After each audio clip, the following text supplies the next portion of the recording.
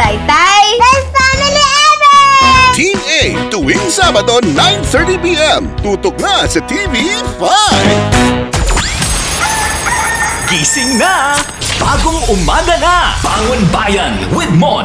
Sabayan ng mainit na kape, ang mainit na balita, impormasyon at talakayan. Kasama si Mon Gualvez. Lunes hanggang Biyernes, alas 4 hanggang alas 6 ng umaga. Bangon Bayan with Mon! Dahil bawat bangon, bagong pagkakataon sa 92.3 Radyo 5 True FM. True FM. Dito na tayo sa totoo. Dito ka sa balitang walang dagdag bawas. At sa komentaryo, hindi biased. Buo ang kwento. Balita may konteksto dahil dito bawal ang fake news. Kasama si Jovi Francisco, Maricel Halili at Chicky Vergel, pati si MJ Marfori. Dito tayo sa totoo lang. Magandang kami mga kapatid. Kayo na, ngayon ay Wednesday na binibilisan. Wednesday na ba? Tuesday. pala. Tuesday ba? Magmumbilisan. Napaisip ako doon, Chika, Wednesday na ba? Binibilisan ang pagsasalita kasi 5.37 na. Pero we need, we need to clarify kasi may mga ibang kayo na pala kaantabay sa kanilang television at merong mga naapektuhan because ah, biglang hindi na bumalik yung ah, One Balita Pilipinas on air. They were ready to go back ano, on air. Kala OT na po, kailangan namin pumasok. Ah, nagkaroon lang po ng konting ah, technical difficulty doon po sa well ano mahirap ipaliwanag pero kasi it's a, ano it's a digital thing Oo. okay Basta technical, Ah, guys. kami na po ang ah, nagbababay para kina Angela at kay uh, Jay Taruk ha. You'll see them back tomorrow at kay Tito Lourdes ano. ah, babalik naman sila tomorrow for for ah, One Balita Pilipinas. Pero kailangan na po natin ipasok agad ang atin pong ah, ah, next program which is STL. Yes. Okay, so we apologize for that technical uh, uh, difficulty or glitch. Ano po, ah, sana hindi na maulit at hindi, susubukan namin hindi na yan maulit. Okay, so simulan natin. O mabilisan na to kasi marami tayong items pero ah para parang public service na rin to. Yeah. ano. So, actually, nung isang araw pa namin nakita to at sinabihan na kami ng Filipino Star ngayon, which is part of our MVP group of companies. Ah, yung ah, Philip- Philippine Star na po, yung Filipino Star ngayon, ay nag-ulat tungkol doon sa naging viral na mga naniwala po doon sa ah, ah, leave your aircon na inverter on for 24 hours and you will pay less. Saan kaya yung logic doon, no? Kung Yeah, iisipin natin. exactly. Oo. pa- Alam mo, hinahan, hin, tinatry ko sanang hanapin kung ano yung, kung saan nag-originate Oo. yung, yung message na yon Kasi nag-viral daw pero hindi ko kasi makita. Yes. Oo. Ibig sabihin, dahil sa algorithm natin, yung mga fakers, hindi, na, hindi Hindi natin na- masyado Hindi na, nakikita. hindi na nakikita. Pero 'di ba, yun nga Chiki, sabi mo nga nasa na logic doon. Oo. Syempre pagka nagkokonsumo ka ng mas maraming kuryente, naturalmente mas mahal. Hmm. Tsaka Cons- siguro, consumption pa rin po ang ah, dahilan kung ah, yung basa ng metro nyo. Oo. Ah, so it's not really kung ano yung appliance nyo. Of course, pwedeng appliance nyo ay ah, ano energy efficient tulad ng mga Yes. inverter na na ref or inverter Oo. na na aircon. Ah, of course, there will be savings. Pero kung isang buong araw nyo naman pong binuksan yon Oh, hindi na rin siguro nagtanong lumapit sa Meralco mismo kasi syempre parang life hack, 'di ba? So hindi kung totoo nga naman 'yun, hindi naman sasabihin 'yun ng Na negosyante, curious, na 'di ba? curious. So siguro tinesting na lang nila pero di Nagsalita ba? na rin ng Meralco dyan na sinabi rin ng Meralco po ano, na hindi totoo. Ah, inverter ay meron po mga advantage pag yan ang inyong ah, klase ng appliance. Ano po, ah, dahil ah, energy efficient at meron siyang ah, ability to control yung compressor motor speed. Ano? Yung kumbaga, hindi siya yung naman niya naman, pag hindi inverter ang ano nyo, ang aircon nyo. Dinig nyo naman na kapag na parang bumababa yung level niya ng Oo. sarili. Yes, yes. Tapos o kaya ay tataas bigla. Correct. Which means Yes. it's working really hard to go Yes. up. Ano? Yes. So, y- ang yun ang kaibahan nila. So, parang kumbaga, mas energy efficient. Kaya sinasabi, mas matipid. Kaya lang, Eh kung 24 hours na naman gagamitin, para kayong... Siyempre, Ah, mahal. ta- Talo nyo pa yung mall, ha? Ang mall nga hindi 24 hours Oo. gumamit. eh. Naging more than double yung bill, di ba? From, Oo. ano yun, ah, naalala ko sinabi nung ah, lalaki from mga 3,000 something. In-expect niya kasi na, oh, sige, maging 4,000 siguro. Kaso naging 9,000. Naging 9,000. At saka di ba logic din naman, yun pong mga appliances, napapagod din yan. Yes, Kailangan nyo rin pong patayin para makapagpahinga. Otherwise, masisira agad yan. Totoo. Correct, correct. So, bilang public service, yun lang po yung paalala natin. Ano? Eh, huwag kayo agad-agad maniwala po dyan sa mga nagte-trending na yan na, na nakikita nyo sa inyo pong ah, ah, mga feed. Ano po. Ah, lalo na, iyaan po, ano, eh talagang ano, ah, pag electricity or water, basta kinukonsumo nyo, ganun din yung babayaran nyo. Pwedeng maging mas matipid. Like, halimbawa, ah, may mga araw na hindi kayo mag-aircon, Ah, may mga araw na, na yung konsumo niya ng tubig mas matipid, bababa talaga. Oo. No? Pero Yun. kung gagamitin nyo nga ulit ng 24 hours, eh, Siyempre, mahal yun. Ako Mahal. ginagawa ko na lang kapag nararamdaman ko pa yung aircon after kung patayin. Oo. Hindi Pwede. muna ako nagbubukas ng bintana. Sayang yung Exactly. lamig. Di ba? Yung ginagawa ko. Tapos, magbubukas ka na lang kapag ka talagang walang-wala ka ng maramdaman na lamig. And I think Oo. may logic din yata na para matulungan mo yung ano mo, yung aircon mo ah, na ng mas ano na mas maging efficient siya. Eh yung medyo heavy rin yung cortina mo. Ay, isa pa yan. Isa pa yan. Hindi, pero sara nyo pa rin yung bintana, ha? Oo. Hindi lang yung shade. Kailangan lang may shade para, ano, para mas mabilis siya mapalamig. Yung Actually, maganda Right. yung mga blackout na Blackout curtains. curtains. Oo. Ako naka-blackout ako. eh. Yeah. So, Sarap din gusto- matulog niya. Masarap Yes, matulog, hindi mo marirealize na umaga na. Yes. Oo, minsan late ako dahil doon. Dahil doon. Okay. So, uh, actually marami pang ibang energy tips ano, eh pwede niyo puntahan yung uh, yung Meralco mismo na, na site para po mas alam niyo yung totoong ways of ano no uh, ano to conserving energy.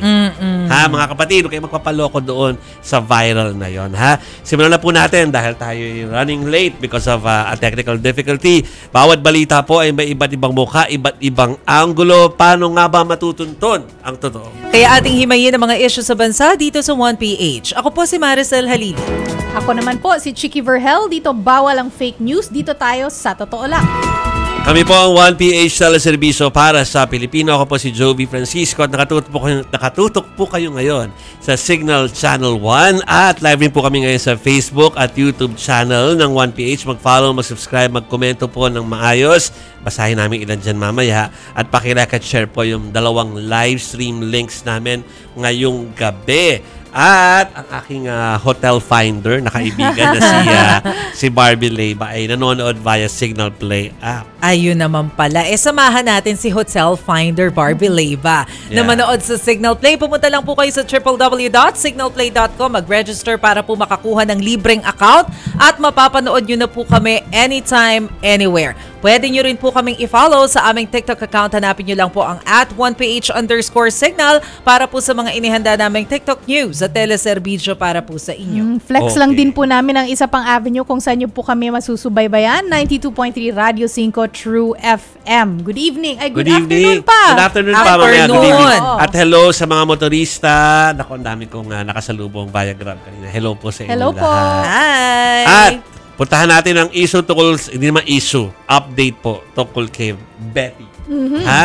Naramdaman na po kasi ngayon si Bagyong Betty sa Batanes at some parts of Cagayan. At kahit wala pa pong pinsalang na itatala at hindi natin gustong magkaroon ng pinsala ha, ah, sa infrastructure o kahit saan pa man po, lalo sa mga kabuhayan ninyo, eh kinailangan na pong lumikas sa mga pamilya doon sa ah, mga lugar na affected. Magbabalita tungkol dyan si Mon Gualvez. Malakas na hangin, ulan at matataas na alon ang naramdaman ng mga isla ng Batanes tulad ng bagsik ng bagyong Betty. Magmula yan kahapon. Pero ngayong araw, humina na raw ito at malakas na hangin at panaka nakapag-ulan na lamang ang dama. Ah, malalakas na po yung hangin at ulan na nararamdaman po namin dito at ah, matataas na rin po yung alon dito po sa probinsya na Batanes sa 5 to 7 meters yung alon ngayon dito. Sa ngayon, wala pa raw naitatalang pinsala sa infrastruktura maliban sa pananim. Wala rin naitalang nasugatan o nasawi sa probinsya dahil sa kalamidad. Pero higit 30 ang inilikas. Limitado naman ang supply ng kuryente dahil kulang daw ang supply ng krudo sa lugar. Sa Cagayan, pinagsamang malakas na ulan at bumaba yung hangin ng tumama sa bayan ng Santa Ana kaninang madaling araw. Hanggang paggising ng mga residente, masungit pa rin ang panahon. Labimpitong pamilya mula sa Agta tribe ang lumikas sa kanilang tahanan sa bayan ng Gonzaga.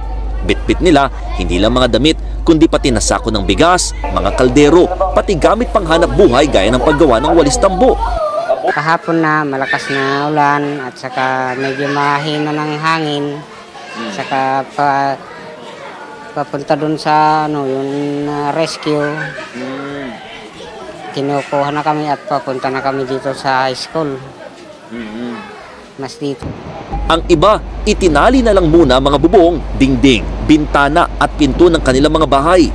Aminado ang mga otoridad, hindi na bago sa kanilang ganitong panahon, lalo't malimit na daanan ng bagyo ang kanilang bayan. Sa lakas naman ng mga alon kahapon, tinangay sa tabing dagat ang isang patay at naagnas ng balyena. Hindi pa ito agad makuha ng Municipal Agriculture Office, lalo't malalaki pa ang alon. Sa ngayon, aabot na ng 140 na pamilyang inilikas sa buong Santa Ana, Cagayan. Ako, si Mon Gualvez, para sa 1PH. Wait Oo, nga. Dead balyena. whale. Ay, balyena nga talaga. Kasi sa una mukhang troso po ano Oh, yung right. video pero actually it's a dead whale na hindi ganun kalaki. Yes. Grabe. O, Anyway. mamaya, balikan natin, no, yung tungkol po dyan sa usapin na yan. But for now, punta po muna tayo sa ibang lugar. Nakakaranas ng malakas na hangin at pag-ulan ang ilang parte ng Pilipinas dahil po sa bagyong Betty. Stranded din ngayon ang nasa dalawang daang pasahero sa Manila North Port. Yan at iba pa sa report ni Jenny Dongon. Walang nakataas na storm warning signal pero malakas na ulan at hangin ang naranasan sa Baguio City dahil sa bagyong Betty. Ang ilang puno sa Burnham Park natumba na. Agad namang nagsagawa ng clearing operation ang mga otoridad. Ayon sa Office of Civil Defense Cordillera, passable pa ang lahat ng daan maliban sa Cannon Road dahil sa landslide sa isang bahagi nito kamakailan. Pero nadadaanan naman ito ng mga residente. Sa Aurora naman, nagkalat ang mga gamit mula sa nabuwal na mga bahay na ito sa barangay Buhangin, Baler. Madaling araw nitong Martes nang magkaroon naman ng storm surge na may taas na labing tatlong talampakan. Sumabay pang high tide kahit apat na bahay ang napinsala. Higit isang dosenang residente naman ang naapektuhan. Na-stranded naman sa Manila North Port ang higit dalawang daang pasahero. Ang iba sa kanila sa pantalan na natulog. Lunes pa kasi dapat ang biyahe nilang Manila-Cebu Butuan pero naantala. Kaya nagrereklamo na ang mga naaberyang pasahero. Ayon naman sa Philippine Ports Authority, dahil daw ito sa technical issue sa isang shipping line. Parehong dahilan din kaya na-delay ang biyaheng Coron at Puerto Princesa ng isa pang shipping line. Meron po tayong mga nakuha na information na bukod po doon sa weather disturbances, meron din po tayong issue pagdating sa maintenance and operation ng mga barko. Kaya yan po yung isa rin sa mga nagiging dahilan kung bakit meron po tayong mga kanselado at uh, suspendidong biyahe. Maaga naman daw nakapaghanda ang mga pantalan, kaya kahit may labing walong biyaheng kinansila sa Negros Occidental, Leyte at Palawan, wala naman daw doong na-stranded na pasahero. Para sa 1PH, Jenny Dongon, News 5. Hello. Oh, ah, tuloy po natin sa usaping, ah, well, ulan, no? Hindi lang ang bagyong Betty ang nagdudulot ng masamang panahon ngayon, pati na rin ang southwest monsoon o ang tinatawag nating hanging habagat. Para bigyan ng mukha ang balita, Mobile Journal, Francis Orsho.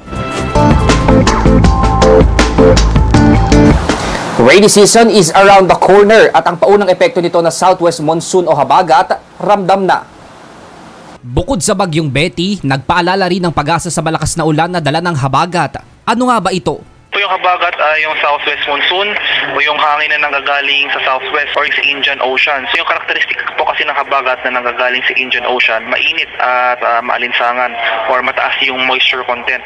Once umabot yan sa ating bansa, nagkakaroon tayo ng mga thunderstorm clouds. Paliwanag pa ng pag-asa, mas lalong nahatak ng bagyong Betty ang habagat kahapon. Sa mga nagdaang araw kasi, ang southwesterly wind flow ang dahilan ng mga pag-ulan. Pero dahil malawak ang sirkulasyon ng hangin ng Typhoon Betty, nahatak nito ang hangin sa timog kanluran. Kaya kahit makalabas ng Philippine Area of Responsibility ang bagyo, magtutuloy-tuloy na rin ang mga pag-ulan dahil sa habagat at ang paunang ulan nito ay pinakamararamdaman sa Mimaropa at Western Visayas.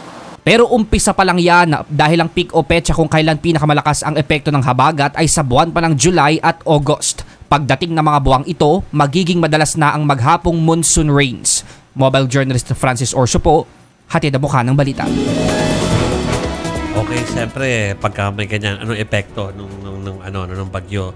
At uh, siyempre, yung mga naantala po na biyahe yung next nating item. Ano, dahil nilino- nilinaw nga po ng Philippine Ports Authority na hindi lang po ito dahil sa bagyong Betty. ha. Ah, so parang may iba pang problema kung ba't nagkaroon ng ano, mga stranded passengers sa mga kapatid.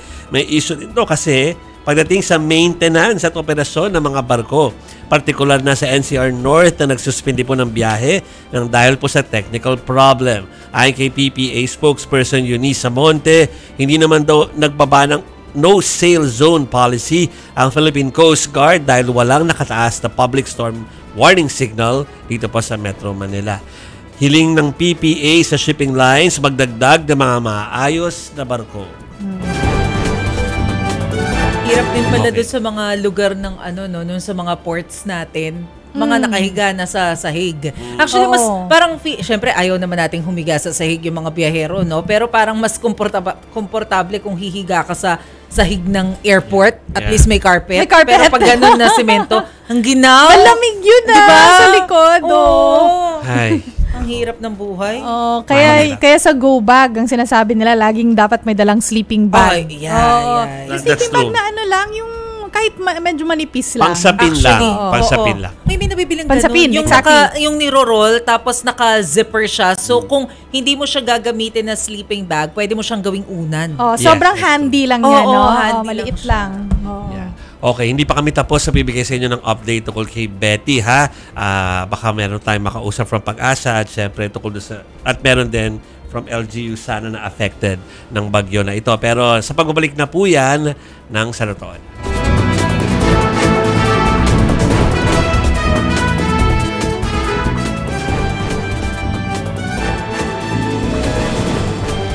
Totoo sa paghahatid ng balita, impormasyon, serbisyo. Totoo sa'yo. 92.3 Radyo 5 True FM.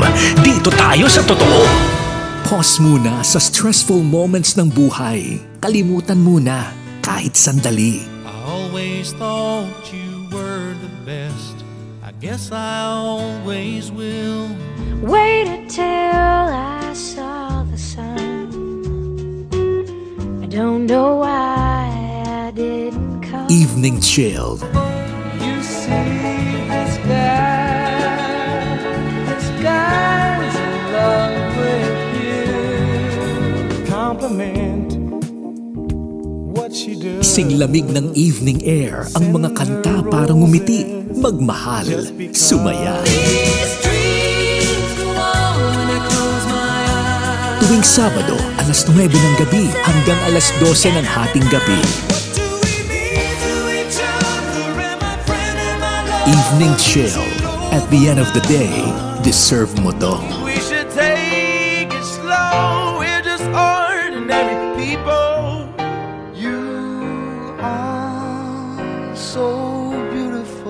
Sa 92.3, Radyo 5, True FM. Dito tayo sa totoo. Lahat mapapasigaw na online. Hindi na magkamayaw sa kilig ang mga fans ng The Rain in Espanya. Mas ilalapit namin sa inyo sina Luna at Calix dahil ang trending love story mapapanood nyo na rin sa TV5. Subaybayan ang kwento na puno ng pag-asa, pagkakaibigan, pangarap at pag-ibig. The Rain in Espanya. Linggo, 4pm, tutok na sa TV5. Orig siyang idol. Idol. Walang humpay sa pagtulong, walang sablay sa pagbibigay. Lapitan, pilahan, hingahan, iyakan, asahan. Hindi kanya tatalikuran. Mas astig sa pagbibigay ng pag-asa. Wanted sa radyo. Wanted sa radyo. Idol. Senator Raffy Tulfo sa 92.3 Radyo 5 True FM. Dito tayo sa totoo. Dahil hindi kasya ang isang oras, ang Power and Play dalawang oras na. Alamin ang mga maiinit na balita sa mundo ng palakasan. Power and Play kasama niyo ako, Noli Iyala, tuwing Sabado mula alas 8 hanggang alas 10 ng umaga sa Radyo 5 92.3 True FM. Dito tayo sa totoo. Meron daw tayong oras bumati para bumati mga kapatid. 1PH Facebook page, saka 1PH YouTube channel. Simulan natin sa 1PH Facebook page. RJ Abrea, parating nanonood sa atin. Maraming maraming salamat. Marshall Anain, magandang hapon daw sa ating tatlo. Pabati daw yung pamilya niya, kaibigan niya, si Robert Francisco ng Barangay Boor, Card- Cardona, Rizal. Francis Gador, Gigi Victa, Alex Fuentes, tapos si, ah, ano to? si George. Ayoko basahin yung apelido mo, George. Sorry ha. Baka kumakain yung mga tao. Pero thank you for uh, listening sa uh, True FM. At si Emily. Baquiano. at si. Jojit Arcega. si, uh, si Deng Peralta meron pinapabati. Uh, teka lang ha. Hindi ko siya makita eh. Pag nakita ko mamaya na. Go ahead. Okay. Si Carlo Constantino, Karen Bacarisas, mga suki natin yan. Zyrene Libunao, dapat daw maghanda tayo lagi sa bagyo. Edwin Adapon, Alex Fuentes, Linith Roses, Hiramo Hintoko, good afternoon. Ayun, pinapabati niya si Cathy Sarmiento ng happy birthday. At Happy syempre, birthday. happy birthday ulit kay Jojit Arcega. Ba? Uy, Georgie, Actually, happy birthday. speaking of birthdays, parang ma- merong malapit na mag-birthday sa Correct. June. Kaya Oo, lang, malapit week, kaya lang Malapit weekend na. eh. Ano paano yan? Oo. Mala, pwede Weekend. naman, pwede namang mag-celebrate kahit. Sa bagay. Oo. Sandy Blanca, sabi niya, sobrang init po ngayon, walang ulan, pero mabuti daw at hindi tumama ang bagyo sa atin. God bless. Well, tumama Yes. pa rin sa ibang parte ng Yeah. bansa. Oh, Oo. pero dito sa Metro Manila, tama. Hindi natin masyadong naramdaman. Actually, hindi talaga naramdaman. Hindi Except sa hangin. No? But uh, we're still kahapon. monitoring epekto sa ibang mga lugar sa Pilipinas ano dahil may mga kababayan tayo na yung iba nakita natin naghahanda naman sila eh. no? Oo, As oo, in, yung iba masunurin sa LGU. Oo, oh, No? very So, good. Very okay yun. Good. Karen Giga and Berlin Talingting. Shoutout sa akong PWD na si Queenie Masaho na palaging nag-aabang sa programa nyo. Hi, Queenie. Hello. Bing Quinto, good mor good morning tuloy oh. Good afternoon sa iyo at kay Reynaldo Cruz, Jamel Berondo at kay Jessie Sabino. Hello.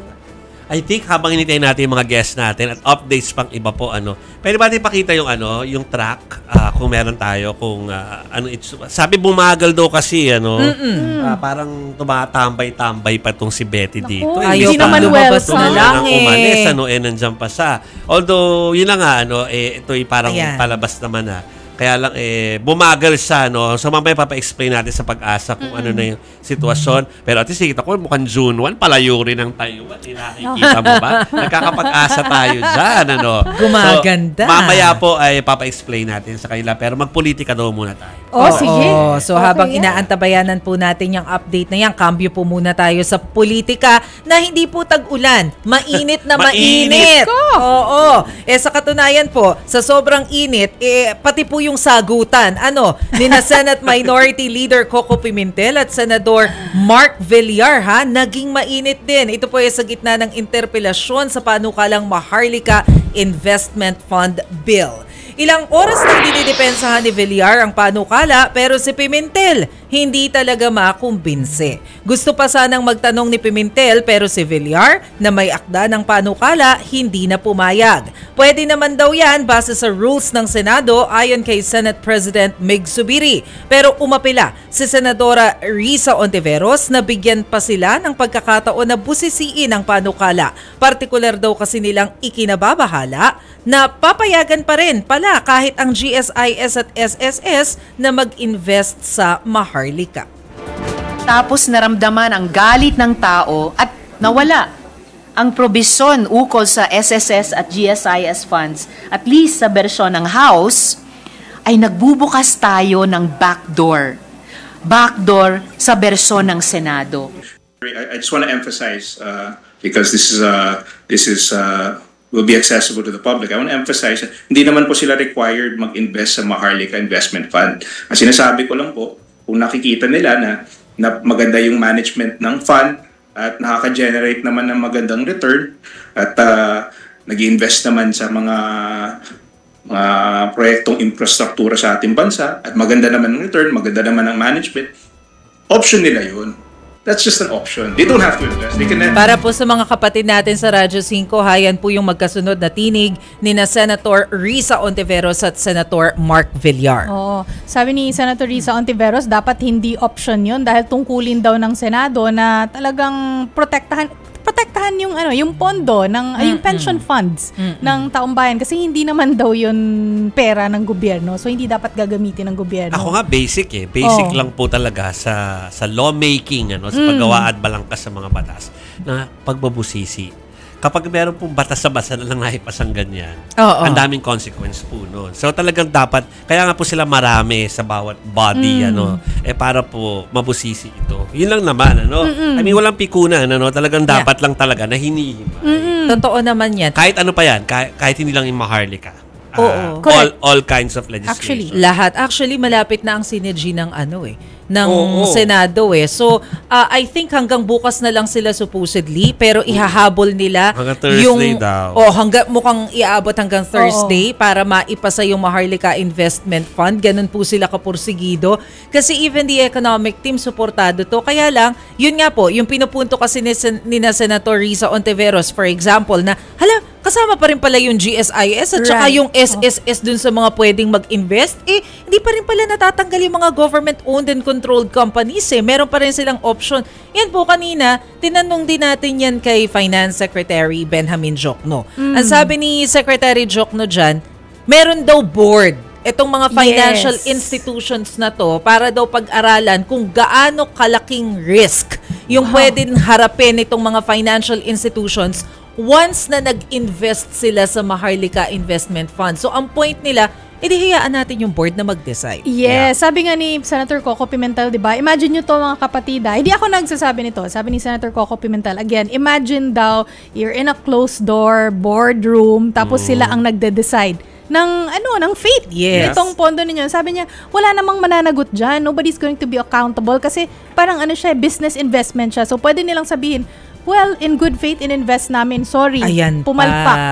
Sorry na lang. Correct. At saka yung isa pa yung concern, di ba, ni Senator Coco Pimentel, Mm. nakausap natin siya dito eh, na paano pagka pumalpak yung investment natin sa Maharlika, what will happen sa Development Bank of the Philippines na imemerge Oh, sa Land Bank. Land Bank. So, ibig bang sabihin, magko-collapse na rin ito, mga government banks po ito. And, sino ang hahabulin natin? Yun. Yun nga, wala daw If accountable. ever. Oo. If Oh, ever. Da- mga Oo. questions po yan. Tanong na na- di pa nasasagot. Sa batas kasi, hindi dapat vague, ano. Alam niyo kung nagbabasa kayo ng, ng mga panukalang batas, so maski yung mga nakapasa na at naging, yung enacted din tulo na, napakabusisi niyan hanggang sa IRR. Oo. Hindi ba pwedeng implied lang lahat ng yan. Oo. You have to to ano to note everything there. Ang gusto, yun nga ang gusto ni Senator Risa Ontiveros, di ba guys, na talagang maalagay doon na hindi pwede yung GSIS, hindi pwede yung SSS, kasi meron ditong ano, yung, yung sinasabi niya, yung ano kasi ito, yung uh, phrase, subject to their respective investment and risk management strategies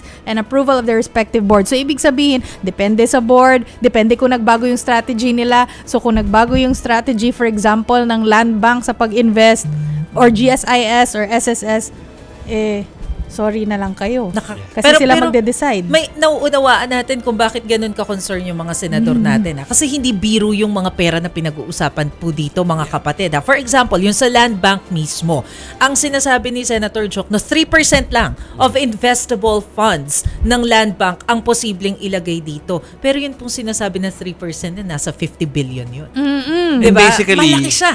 Basically, again, hindi dahil sa gusto ng mga taong mangharang. Mm-mm. No, so ang ano lang naman po doon, mga kapatidan, ay ah, kung masasagot kung kung meron tanong, parang sagutin. Oh. para Oo, alam na yun. ng mga tao kung ano man. Ganun lang naman po 'yon. Ah, eh, kung talaga makakabuti sa atin, why not? Pero kung malinaw po yung sagot sa bawat katanungan sa isipan ng mga tao, eh mas okay 'yon. Eh, nag-opt out na nga si Senator Mark Villar, di ba? Hindi na Eh. daw sasagutin. Sabi nila, eh, sa Senate rules, pwede naman. Sabi ni Zubiri na hindi na sagutin. Eh, sabi ni uh, Senator Coco Pimentel, nakasaad doon na pwedeng i-stop na yung pagsagot. Pero, sa Senate debate yon hindi sa interpellation. O, Pero pa. tinigil, wala, tinigil pa rin. Rules. Okay. Anyway, O, eh, Senate pa rin tayo, di ba? May nangyari pa sa Senado po, no, maliban po dyan sa, sa talakayan pagdating sa ano, Maharlika. No?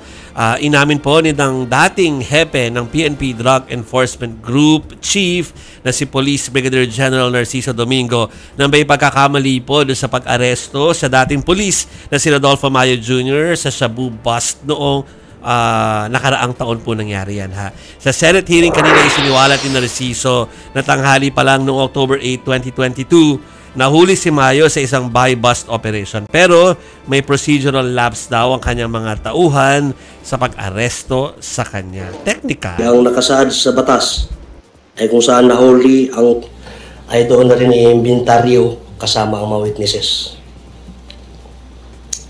Hindi po ginawa ng operating team yun. Well, yan po ano ay ah, si ah, Brigadier General Narciso Domingo. Yung narinig po ninyo, no? Pero ang ginit po niya, lalo, ano, ay kung sinunod pa po ito, ay hindi na sana mare-recover ang 990 kilo po ng shabu sa Manila na nagkakahalaga ng 6.7 billion pesos. Muli rin po nanindigan si Domingo na wala siyang pinagtatakpan sa nangyari. Mr. Chair, Your Honors, that there are lapses in our entire operation, but such uh, judgment calls and procedural lapses were done by me in good faith based on the reports of my men. So sa Senado pa rin po ang ating ah, update dito. Pumirma ng kasunduan ang pitong partido para mapagtibay ang alyansa sa partidong Lakas Christian Muslim Democrats o ang tinatawag po natin Lakas CMD. Sa pangunguna ni Lakas CMD President House Speaker Martin Romualdez, pumirma ng alliance agreement ang partido ah, sabi ko ba kanina ano Senado? Hindi, si, si Robin Padilla kasi nasa Sa isip Senado ko. pa naman si Robin. Sa, sa Senado si Robin, oo. Sa pangunguna ni Lakas CMD President House Speaker Martin Romualdez, pumirma ng alliance agreement ang Partido Novoteño, Centrist Democratic Party of the Philippines, NUP at PDP Laban. Pumirma rin ang Nationalista Party, Nationalist People's Coalition at Party List Coalition Foundation Incorporated. Pahiwatig daw ito ng pagsuporta kay President Bongbong Marcos. Samantala, ito na pong sa Senado. Nagbitiw naman sa pwesto bilang Executive Vice President ng PDP laban si Senador Robin Hood Padilla. Ayon kay Padilla, gusto niyang pagtutuunan ng pansin ang trabaho bilang senador. Dapat daw kasi mas may oras ang Executive VP ng partido para gawin ang mga tungkulin nito. Pero kahit nagbitiw sa pwesto, mananatili raw siyang miyembro ng PDP laban. Okay, ang masasabi ko lang po dyan, yung mga nagsasabi na masyado pang maaga para sa politika, eh yan na po, nakikita nyo na. That's uh, realignments uh, Realignment, going on. Ano? oh. At uh, syempre, yan lang po ay nakatuon doon sa susunod na halalan. Kung hindi man yung susunod na presidensya, maski man lang yung midterm. Oo. 2025 po yan, mga kapatid. Meron bang maaga sa politika? Wala. Wala Parang naman. oras-oras dapat pumaporma ka. Never too Oo, early to ganun prepare. Naman, eh, Oo. di ba? Yeah, O sa dami ng mga botante sa buong Pilipinas, paano naman makakampanya lahat yun? Eh pero ngayon, relax muna tayo sa politika mga Yes. kapatid. ha? Doon po muna tayo sa medyo malapit ang ang malapit sa tiyan ng mga usapin. Ito po yung paghahanap ng mga trabaho, lalo na dun sa ating mga skilled workers. Ha? Baka naghahanap po kayo. Ang balita po natin, isang milyong Filipino skilled workers. Ganyan daw po kadami. Ang target i-hire ng Saudi Arabia sa loob ng dalawang taon. Sinabi ng Department of Migrant Workers o DMW na kailangan ng Gulf State ng mga manggagawa sa mga industriya ng hotel and restaurant, construction, at information technology. Balak ng DMW na magkaroon ng special hiring program para rito. Magpapadala rin daw ng technical team ang Saudi sa ikalawang linggo sa Hunyo para maplansya ang detalye tungkol dito. So sana ano no, yung mga kasi parang 800 ba yung mga OFWs natin na hindi natuloy na deployment sa Kuwait. Kung tama yung numbers na Okay. naalala ko, baka mali ako, no? So iniisip ko lang, baka pwedeng yung mga hindi natuloy, baka pasok sa- naman oo. dito, mailipat natin sa Oo. Saudi. Kasi 1 million naman yun eh. 1 million Oo. naman yun. Although for for the next two years. Right. Pero at least, di ba, baka ma-consider. Kasi kawawa rin eh. Oo. Sisingit ko lang bago tayo mag-break. Ah, happy birthday kay Tim Powers. Alam ko hindi ka nakakaintindi sa ngayon ng Tagalog, pero gusto ng asawa mo na matuto kang mag-Tagalog. Kaya Maligayang kaarawan sa iyo, Tim Powers. Christine Mendoza, good evening. So, kailangan muna tayo mag-break. Ano? Sandaling-sandali lang po yan. At uh, sana makakuha tayo ng update sa pag-asa. Pero, pero we're still working on it. Pero sa pagbalik natin, eh baka mag-MJ tayo dahil marami. Oo. Parang Maraming lalong, ganaps. Ang daming ganap. May noontime show issue. Tapos may issue pa ng ghostwriting. O, Ay! mamaya yan ha. Sa pagbalik po ng Sa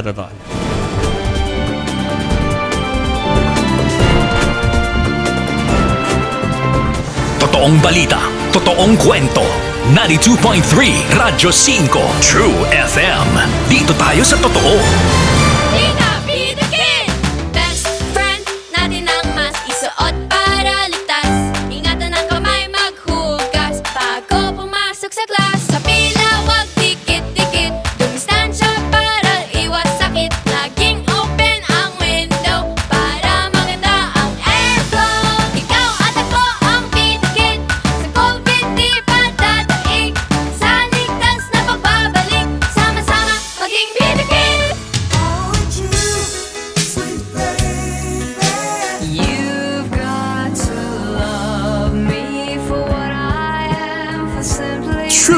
List. Nag-hit sa charts. Nag-hit din sa hearts. True Hit List. Pinagsama-sama ang mga kantang tumama sa puso mo. Tuwing linggo, alas 12 ng tanghali hanggang alas 2 ng hapon. True Hit List. Tinamaan ka ba sa kanya o sa kanta? Sa 92.3 Radyo 5 True FM. Dito tayo sa totoo.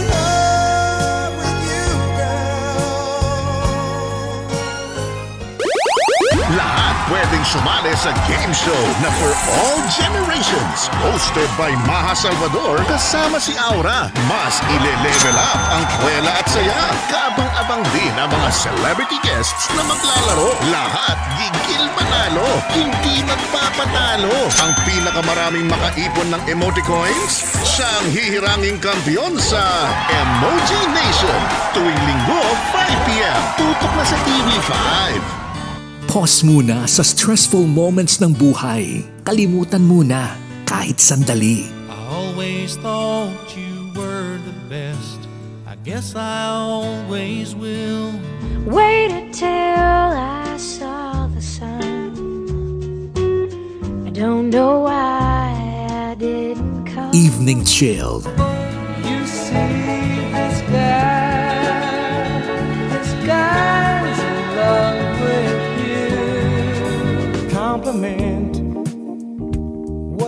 Singlamig ng evening air ang mga kanta para ngumiti, magmahal, sumaya. Tuwing Sabado, alas 9 ng gabi hanggang alas 12 ng hating gabi. Evening Chill. At the end of the day, deserve mo to.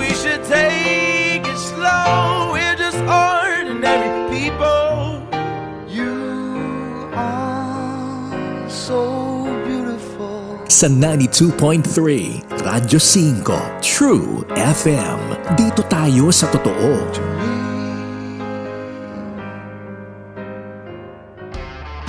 May namiss ka bang mga shoot, pasa at hiyawan? Ngayon, hindi na! Dahil araw-araw mo nang mapapanood ang mga paborito mong sports program sa TV. Watch us on these channels. Free TV Channel 41, Signal TV Channel 6, Sky Cable Channel 59. One Sports! Ito ang go-to tambayan for your favorite sports program. Mga kapatid at ah, thank you for ah, still watching our ngayon pwede na sabihin yung ano good evening. Yeah. Good Oo. evening na po mga mga kapatid at ah, bago po tayo magpatuloy ay babatiin ko lang lahat po nagka-graduate ng UST ha dahil ngayon ay baccalaureate mass kayo. Buti hindi umuulan ngayon kasi usually doon yung sa sa field ginagawa sa grandstand. Congrats sa inyong lahat. Maswerte, congrats! Alam niyo naman pag mga go uste, go uste talaga. Oo, grabe ha. Big supporter sa inyo talaga. Oo. Ni Jovi. Ayan Okay, na, ayan Pag-asa. na. Pag-asa, Okay. tawagin na natin si Pag-asa Weather Specialist Obet Badrina para makakuha na tayo ng update. Good evening, Obet. Magandang gabi po, magandang gabi sa lahat ng mga tagapakinig at tagapanood natin. Huling namataan ang mata ng bagyong Betty nasa 315 kilometers silangan ng Basco sa lalawigan ng Batanes. Ito ay mabagal na kumikilos pa ilaga ah, na may lakason na umaabot ng 150 kilometers per hour malapit sa gitna at pagbugso na nasa 185 kilometers per hour. Nakataas ngayon ang signal number 2 sa Batanes habang signal number 1 naman sa northern and eastern portion ng Isabela sa lalawigan ng Apayao, sa silangang bahagi ng Ilocos Norte, gayon din no, sa hilagang bahagi ng Kalinga at sa northeastern portion ng Abra at sa buong lalawigan ho ng Cagayan kasama yung ah, Babuyan Islands. Base sa ating pagtatrack, posible hong araw ng biyernes ay nasa labas na ng Philippine Area of, of Responsibility ang bagyong Betty. Inaasahan din natin na posibleng magkaroon pa rin ng mga pag-ulan dito sa may bahagi ng ah, kanurang bahagi ho ng Luzon, partikular nitong Mimaropa area at Western Visayas dulot naman ng hanging habagat. So ito po yung ating inaasahan na magiging lagay po ng ating panahon. Posible rin ho yung mga pag-ulan sa Zamboanga Peninsula at sa iba pang bahagi ng Ilocos Region, ng, ng Cordillera Administrative Region at ng Cagayan Valley. Obet. yes ay, po, ma'am. Sorry, si Chicky Verhel ito. Last Yes week po, may, Chicky. may nakausap rin kami no na tagapag-asa at sinabi niya until next week posible na maramdaman pa rin yung epekto niya Betty. Pe- Does this still hold true? Or pag Friday, pag exit pa ng PAR na in-expect natin, di ba, ex- exit by Friday ay magiging okay na yung panahon. Oo. Actually, sa ngayon ho, no, base sa, yan, ma- mahalaga nga rin po na naitanong ninyo para ma-check natin yung latest update dahil nagbabago-bago din yung lagay ng panahon. Base ho dito sa ating pag, ah, pagmamonitor, dahil ah, kahit lumabas yung bagyong Betty, wala na hong magiging direktang epekto yung bagyo definitely paglabas niya. Pero makararanas pa rin, posible pa rin tayo makaranas ng mga mahihinang pa, mahinag sa katamtamang pag-ulan sa western section ng Luzon. Posible nga pati yung kamay nilaan, pero mga mahihinang pag-ulan dulot naman ng habagat.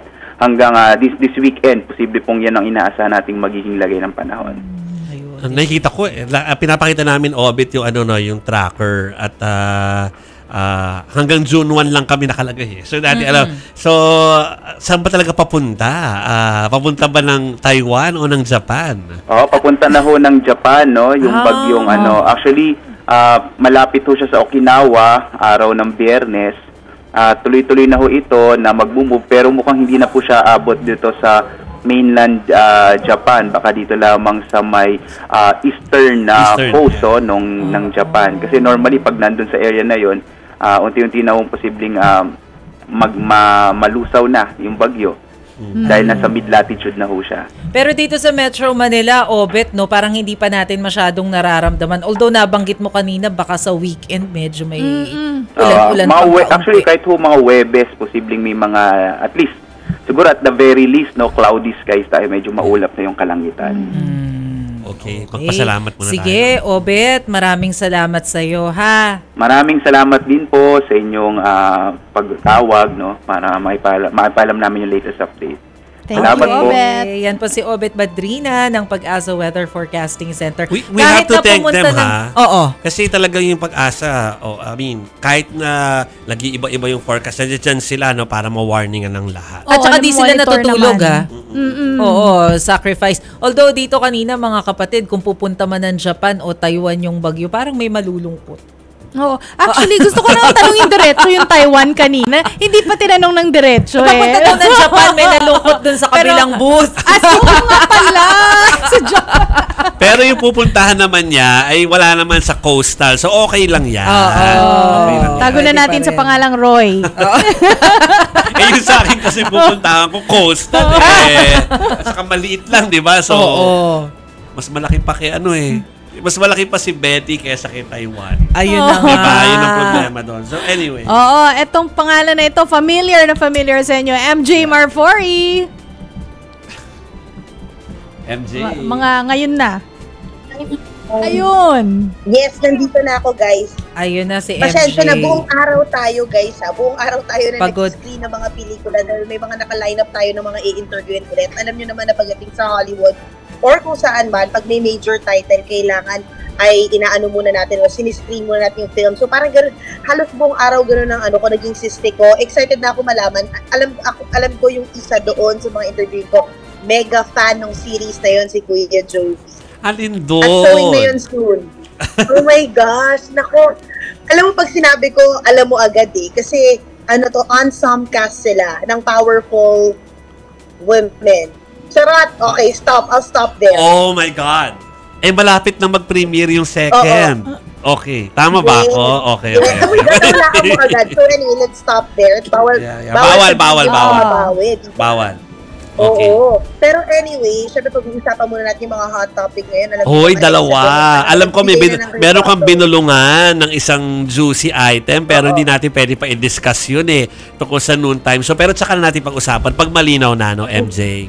Ay, baka ikaw ang pwede mag-confirm, Kuya Jody. May alam ka ba dyan sa loob? Eh, magtatanong pa lang, magtatanong pa lang. Oh, Magtatanong pa lang. ko kay Pipi. Napaka-vague ng answer ni Pipi sa akin. Eh, tingnan natin ano, parang diba? parang pirmahan na, Malaki, di ba? malaki. Yung George Changes. Correct, correct. Oo, na natapos na daw. Tingnan nga natin kung ano kung ano yun. At Correct. pinagbulong sa akin, medyo, rel- I mean, medyo super reliable. Kaya Well, see, pero ito, ito lang masasabi ko. Kung ano man yun, ano, we can't really say because hanggat ayaw natin makuryente dyan, di ba, MJ? Pero ito lang masabi ko, as a viewer of Yes. that, uh, as a viewer of that show, nagugulat ako na parang daily ay meron na silang look back na fillers nung kanilang ah, mahabang mahabang ano, mahabang television life. So maski yung mga video nila nung Totoo mga yan. 7 anong 80s, 90s and 2000s, pinapalabas na nila. Ano ba ibig sabihin nito? Yun. Kasi, tsaka anong araw na ba bukas? End of the month. Yes. Oo nga. Meron pang bigla akong ano, baka mabigla ako mapatakbo sa ibang storya bukas, Correct, ha? correct. So wait, let's wait. Let's wait. Wag, ano na, wag tayo makuryente dyan, MJ. We'll, we'll, ano, Let's we'll, we'll it. wait for it. Pero mas interesado sila sa isa pang hot topic. Oo, Ghostwriter ka ba? nagbigay na- Oo. Wait lang. ito kasi nagsalita na, nagbigay na finally ng rebuttal si Moira. Tungkol sa mga ibinabato sa kanya ng ano, Yeah. no, ng uh, umano'y ah, kinuha daw niyang ghostwriter, umano'y.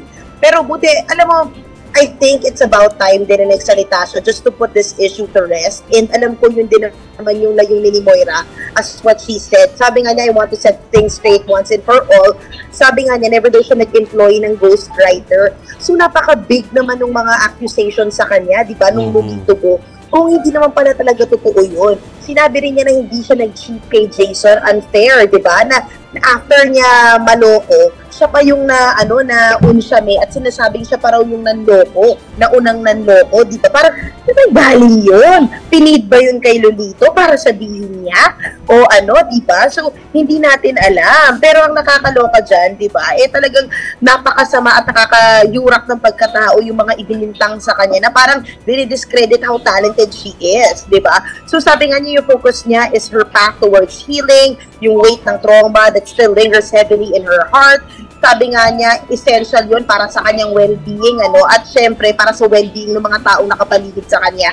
And of course, her life in general. O, di ba? Alam mo yung nakakatuwa rito is because she didn't back down, di ba? Once and for all, nag-post na siya. Pero yung hindi pa natin, hindi pa malinaw sa atin is kung mag, aano nga siya, mag-take siya ng legal actions towards doon sa nag ano no nasa paninirang kuri na natanggap ni ano Sabi ng lawyer niya, oo daw. Sabi ng lawyer niya, oo daw. ni Joji. Oo, alam naman natin palaban si Joji, tsaka napakadami ni attorney Joji, ano, no, na mga kaso na, na at showbiz personality sa tinulungan, lalo na if it, if it, ano, it calls for it. Hindi talaga nagba-back down dyan si attorney Joji. At now na sinabi nga niya yan, yan yung aantabayanan natin. What's gonna be the next step? Especially, uh, kung magkikita-kita ba sila sa korte, mauuso na, naman, na naman ba yung mga showbiz covering, ano, coverage sa korte? Kasi yung huli ko pa ata, yung kay, ano, Barbie Imperial sa kay, kay Debbie, na nakapasura na, di ba? Ba, kumbaga, dati, dati kasi, kung alam kung ano, yung sa mga kapatid nating nakikinig at nanonood sa atin, dati, every year or every season, may kasuhan. 'Di ba? Hindi man siya maganda. Isa yan sa mga major coverage ng showbiz. Ngayon, Yeah. manaka-naka na lang yan. So, titingnan natin kung dito eh mabubuhay ba ulit. Pero nakikita natin tahimik pa si Jason thus far. So, ayan, 'di ba? Dapat manatili na lang siyang ano, tahimik baka mamaya madawit pa siya. Okay, anyway. So we're excited sa coverage mo bukas. We wanna Yeah. hear kung anong mga Rock next MJ. update mo. Pero uh, we'll uh, have you back dito for updates. Uy, MJ, batiin mo pala muna si Georgie at baka makalimutan na Uy, naman birthday! natin ang birthday Hello, niya. Georgie Ortega, tama ba? Yes. So, Oy, alam. A loyalist. Yeah. Kilig na yan. Yeah. Yeah. Okay, thank you, MJ. Thanks, See you MJ. tomorrow. Lagi nanonood ng mga tita ko dyan kay MJ. eh. Si Oo. Tita Honey, tsaka si Tita Edita. No? Ng mga Oo. updates from MJ Marfori. Thank you, MJ. Oh. Wow, 625. At makakapagbotan tayo sa balita. Bumota rin tayo sa quotes.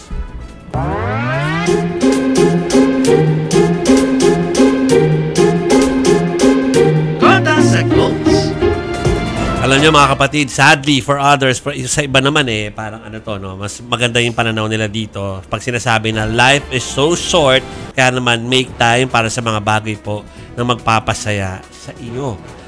Di ba? Mm-mm. Huwag masyadong magpaka-stress sa mga bills. Ay! Ay, posible ba yun? Teka, stress. Teka lang. stress ako Okay. agad. Try Oh. na lang, try na huwag masyadong magpaka-stress sa Yeah. mga bills. Naway magkaroon din tayo ng time para magpahinga at magsaya. O kailangan din naman mag-make time kahit 5 minutes. Na five, pause muna, 5 minutes, di ba? Mm-mm. Sabi nga mga kapatid, sa famous rendition ng yumaong Queen of Rock, Yun. rock and roll, na si Tina Turner sa kantang Proud Mary. You know that big wheel keep on turning? Proud Mary keep on burning. And we're rolling, rolling, rolling on the river. Gusto, Sabihin, gusto mo na tuloy kumanta. lang. Oh my, rolling. Oo, parang kumbaga tuloy lang, tuloy lang. Rolling. Ano. Gawin lang ang dapat gawin. Ha, mga kapatid. So, hanggang sa muli, ako pa si Jovi Francisco. Ako naman po si Maricel Halili. Ako naman po si Chicky Verhel. Huwag na huwag magpalin lang. Dito tayo sa totoo lang. Kami po ang 1PH dala serbisyo para sa Pilipino. Bye everybody. Good night.